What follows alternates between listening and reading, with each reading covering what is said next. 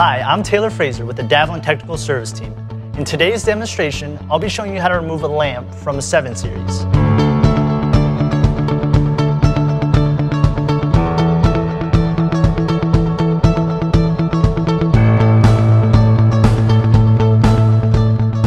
Alright, so we have our new lamp here, but the first thing we need to do is remove this metal grid.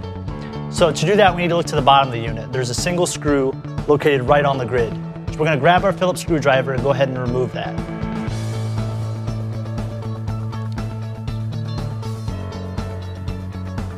All right.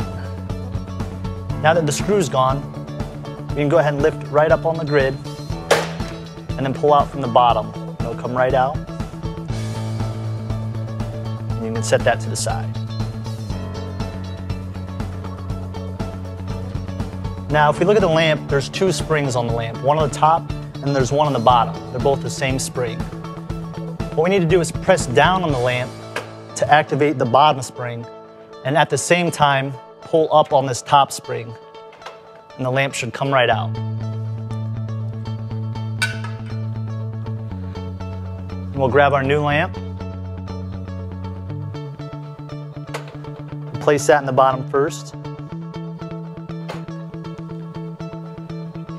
Again, we're gonna press down and then pull up on the top spring. And it'll slide right in.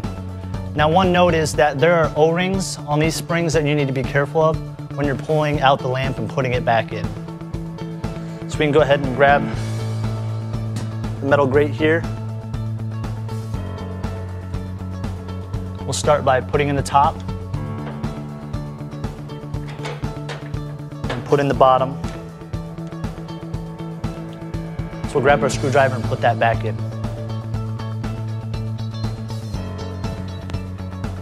Now that the screw's in, the unit's ready to use.